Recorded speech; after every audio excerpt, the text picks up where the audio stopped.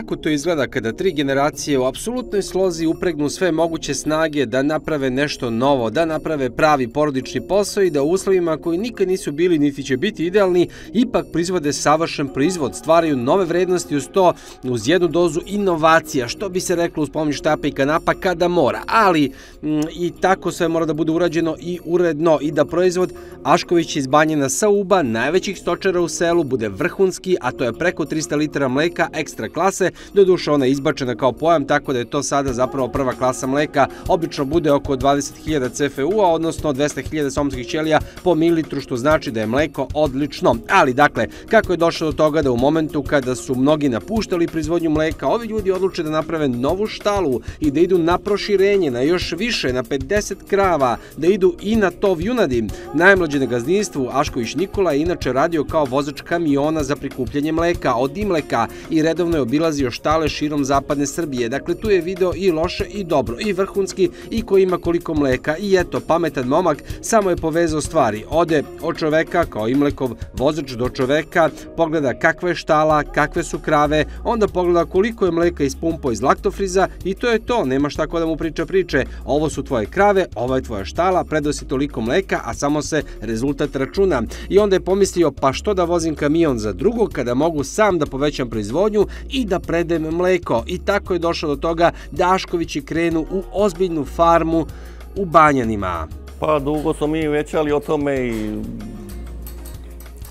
nismo mogli, mislim mogli smo dobiti nekakav kredit, ali to sa nama nije isplatilo nikako. Da. I onda smo, jedno pet godina smo skupljali pare od dikova, tako da da smo s osnovnim sredstvima radili zgradu. I napravili ste ovako. Da, ne vredi. Ali koliko tu ima stanjih mesta, koliko je koštala štala, koliko je to visina, ipak ste lepo ovako konstruisali Pa, objekat. mislim da je do Maje 6,5 metara gore. A, pa smo onda imali problem i ja i otac zbog hodnika, on je to mislio malo uže. Pa smo i tu godinu propustili. Da. To kako god, za seljaka puno para. I hajde, nekako smo se dogovorili i rešili smo. I sreća opet što smo pogodili sa firmom da uradi. Inače, potonuli bi tu načisto. Tako je to, svako vreme ima svoje breme. Dede je tražio da to bude malo manje, da bude više starovremenski, unuk je tražio sve da bude moderno, pa je na kraju ipak to prevagnulo, jer kada imate ovoliki broj krava, ne možete da radite čak ni kao pre 20 godina. Čim su napravili štalu, Aškovići su prilagodili svu mehanizaciju novim uslovima. Prvo su zamenili balirku, uzeli su rol balirku, na traktor su gradili koplja da mogu da rade sa velikim balama, kupili su opremu za uvijanje u folije i sada prvi otkos lucerke uvek ide u senažu, ovi drugi mogu i u seno, o tome smo govorili nedavno sa doktorom Lugićem iz instituta za krvnobilje u Kruševcu. Štala je inače do ove faze koštala oko 50.000 evra. Trenutno nedostaju vakum vod i mlekovod, ali šta nas je oduševilo da je tu u samoj štali, to je pedantnost, pogotovo električnih instalacija. Tu mnogi greš, ostave kablove van kanalica, van creva. Ašković, koji inače po obrazovanju električar, zna koliko struja može da bude opasna i zato svaki kabal je u plastičnoj cevi koja je zadiktovana, svaki utikač ima poklopac, svaki prekidač ima neku IP vrednost. Ne radi se samo o bezbednosti, nego i o higijeni. Sve ove krave čim otopli idu na ispust, dok su na ispustu, to je zgodno vreme da se kompresorom očisti cela štala, ali to ne bi bilo moguće da nije sve isprojektovano da bude vodootporno. Imao sam tu jednog drugara, radi čovjek na Upskoj rasveti, isto imenjak moj Dragan i odradili smo stvarno to korektno. Prvo si on čovjek malo, jao, visoko ovo, ono, ako ništa s tim ne sikiraj, nabavit će tebi skele, samo ti reko, ima i bolje za to. Zna. I, i do duše čovjek se stvarno prihvatio i odradili smo to maksimalno i nema šta.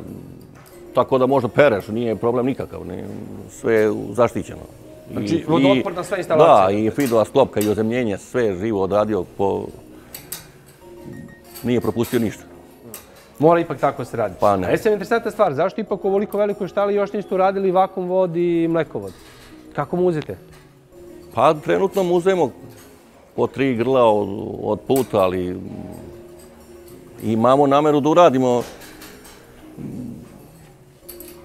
Vakum vod i mlekovod. vakum, ali šta ćemo, ove godine smo promakli. Da, pa dobro, ali imate, mm, opet imate mleko prve klase, je li tako?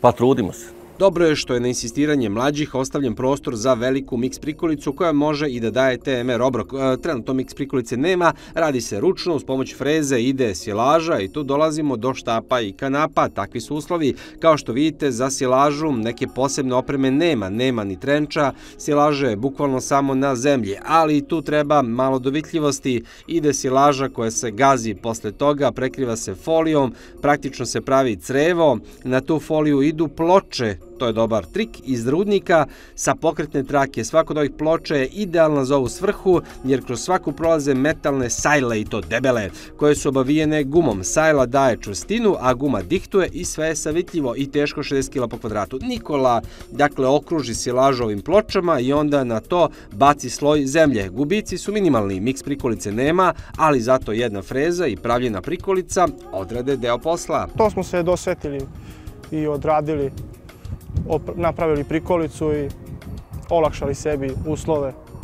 Baš namenski napravili za to prikolicu, jel? Namenski za silažu. Po toj kubaturi koja vama treba? Da, koja nam odgovara za ovaj kapacitet stoke. Trake smo, to smo kupili u Krtinskoj kod Obrenovca, to je mesto Da. za, za pokrivanje te silaže. Da. Zbog kosina, Što? Da ne bi spadala zemlja i to. Lakše nam i brže nam. A kakvi su to trake u stvari? To su trake od, sa kopova tamo, sa tih mašina radnih. Da. Pa je taj otkupio i mi smo kupili od njega. Aha. A čekajte, to je, imaju vjerojatno neku jaču masu ili je čvršća guma. Zašto su zgodne baš za ovo ovde funkciju? Pa i teške su i ne, neće vazduh da Diktuju. diktuju i to. Mhm. A koliko su teški? 60 kg kvadrat. 6 kg kvadrat. Pa to znači, malte ne vi jednu tonu stavite okolo ili i jače. I Jače, više, i više. Dakle, eto, bit će i miks prikolice, ali za sada nije ni ovo loš sistem, a i freza potroši možda mesečno 5 litra benzina, samo za ovo i služi. A završava posao. Još jedna stvar koja je važna kada proširujete farmu i kada pravite osnove, temelje, to je genetika i tu ne treba štediti novac. Skuplji način je da nabavite junice koje su u startu vrhunske, ali baš te najbolje teško možete da dobijete i preskupe su, jeftiniji, ali sporije da ulažete u seme dobrih bikova i da tako dižete mlečnost i naravno brz remont stada. Interesantna stvar, osim što ste ulagali u objeka, da kažemo, kao porodica, ulagali ste i u genetiku. Kažete da niste žalili novac i ne želite sad novac za seme, samo da budu vrhunske junice i tu ima Pa dobrih da rezultata. budu mlečna grla, nema tu... Sve ispod 22 litre, to ne treba držati. To je, Prošlost. to je prošlost, nema ništa. I onda stalno, stalno podmlađujemo. Čim se nešto, pa uvek ima neka Da. propadne i na nogama ili sa vimenom ili nešto i onda mora da menjaš. Se neka se razbole, šta ćeš, ugine i dešava se i to. Nekada je izgradnja ovolike farme iznad proseka bila luksuz, skoro možemo da kažemo čudo, ali da ovo nije urađeno, pitanje je da li bi porodica bila i dalje ovom poslu. Jednostavno, vremena su se promenila, to je realnost. Vivo sam kad nisam imao ni jedne. Pa kad sam pravio onu stalu, rekao, u, velika 8 sa 6, bit će tu i za kravu, i za krmaču, i za ovci, i za sve. I tu smo držali deseta krava, pa je to postalo malo, pa smo morali da razmišljamo o ovome. I na kraju smo dve, tri godine većali koliko ćemo, kako ćemo, šta ćemo, odakle ćemo pare. Na kraju krajeva smo rešili. Pitali smo ovaj ministarstvo, kaže treba veliki papiri, odustali smo od toga.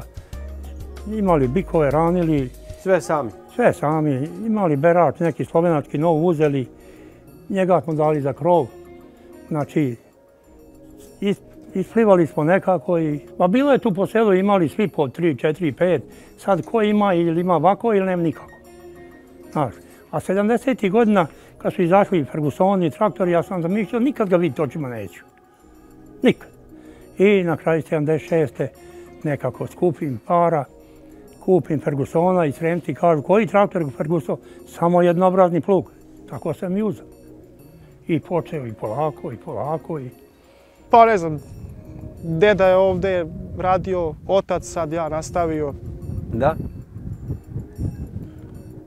nekako da nam se ne zapusti ovo domaćinstvo i Ali može od toga recimo se zaradi jedna plata bolja nego što biste imali u Obrenovcu.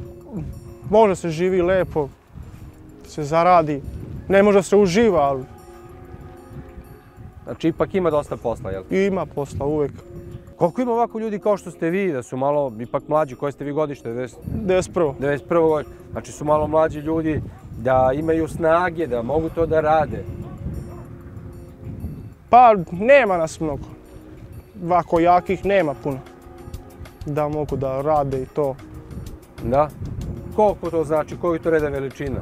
20, 30, 40, 50? Pa možda Banjanima celim 40 da ima takvih. Mlađih ljudi. Mlađih i jakih, sposobnih i to. Sjajni ljudi, ali kao što je Živislav rekao, polako i polako, ali na kraju su uspeli. Posao nije završen, međutim nema stajanja, ali ipak ima. Jer ove krave uopšte nisu umatičene, što je besmisleno, tuđom krivicom i greškom. Pošto ima novog razvoja situacije oko svega onoga što se dešavalo, to pitanje ostavljamo za narednu nedelju da vidimo da li je slučaj prevare stočara od Valjeva do Lazarevca rešen i šta se po tom pitanju uradilo. Dakle, više o tome tamna strana medalje naredne nedelje.